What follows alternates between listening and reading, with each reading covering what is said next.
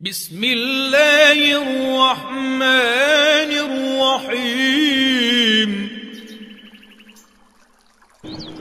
अल्लाह के नाम से शुरू जो निहायत मेहरबान ये आते थे तो ये आकर रसूलुल्लाह मुबारक के पास सलाम सलाम नहीं करते थे। तरीका तो ये है कि ये कहते अस्सलाम अलैकुम। तो ये कहते अस्सलाम अलैकुम। और ये आज आम है। अस्सलाम अलैकुम। तो इसका माना है कि आप पर अल्लाह की सलामती हो, व रहमतुल्लाह, और उसकी रहमत हो, व बरकत और उसकी बरकतें हों। कितनी दुआएँ हैं ये। अस्सलाम अलैकुम। आप पर अल्लाह की तरफ़ से सलामती हो। अब ये इतना एक वसी मफहूम है कि दुनिया में इससे वसी मफहूम का लफज कोई ईजाद ही नहीं हुआ। मुलाकात के वक्त। आम तौर पर मुलाकात के वक्त क्या कहते हैं? कोई कहता सुबह खैर, कोई कहता शब बखैर कोई कहता गुड मॉर्निंग, कोई कहता है कुछ। ये सारे के सारे अल्फाज क्या हैं? वक्त ही है कि आपकी सुबह तो खैर से हो, दोपहर का कोई पता नहीं है। दोपहर तो खैर से हो, शाम का कोई पता नहीं है। इस्लाम ने कहा नहीं, अस्सलाम वालेकुम आप पर अल्लाह की सलामती हो। सुबह भी सलामती, दोपहर भी सलामती, शाम भी सलामती, फिर बीमारी से भी सलामती, परेशानी से भी सलामती, दुख तकलीफ़ से भी सलामती, दुश्मन से भी सलामती। कितना इसको फैलाएँ, ये लफज फैलता जाएगा और उसके मानी ख़त्म नहीं हो सकते। ये इतना मुबारक लफज था।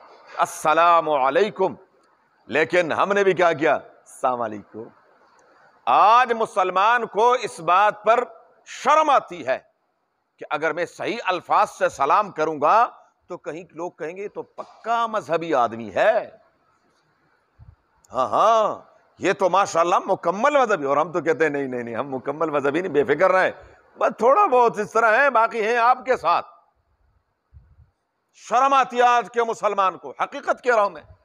सही सलाम करते हुए उसको सलाम कर, का जवाब देते हुए शर्म आती है। यानी एक और पढ़े लिखे अच्छे भले। ये नहीं कि मेरा जैसे जाहिल आदमी अगर कोई ऐसी बात कर दे चलो समझ में आता है यार जाहिल है बेचारा नहीं पता।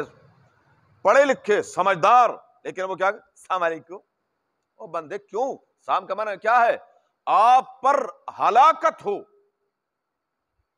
बहुत बड़ी बददुआ है अस्सलाम वालेकुम। तो ने फरमाया कि जब ये बदबख्त कहे ना अस, अस, तो आप लोग वालेकुम अस्सलाम न कहें। आप कहें, वालेकुम वालेकुम, कि जो तुमने कहो वही तुम पर। अगर दुआ दी है तो तुम्हारे लिए भी क्या है? दुआ। और अगर तुमने बददुआ दी है तो तुम्हारे लिए भी क्या हो? वही बददुआ। तो ये है कि अस्सलाम ये बाकायदा। नाम बड़ा अच्छा रखते हैं। बहुत अच्छा नाम। कायनात का खूबसूरत तरीन नाम है। क्या? अहमद, लेकिन लेते क्या है? कितना बड़ा गुनाह है। और कुरान सामने है ओलमा से मैं सुनता हूँ ओलमा से आवाम से नहीं। जो ओलमा है, वो लफज अहमद इस्तेमाल करते हैं। ये कुरान की आयत है। नाम अहमद, लेते क्या है? हाँ जी। नाम है रहमान। और क्या कहते हैं? रेमान साहब जी। रेमान नाम है फजलुर रहमान क्या कहेंगे? फजल रहमान ये रहमान क्या है? और ये कहाँ से सीखा? मुझे ये नहीं समझ आ रही। ये कहाँ से सीख रहे हैं? रहमान अल्लाह का नाम है। रहमान क्या चीज़ है?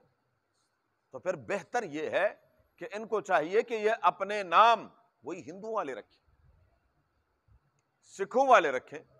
मुसलमानों वाले, क्योंकि वो अल्फाज को अदा करते हुए शर्माते हैं कि जी हम ये अल्फाज इस्तेमाल करेंगे, कहीं वो बड़े नाराज़ ना हो जाएँ।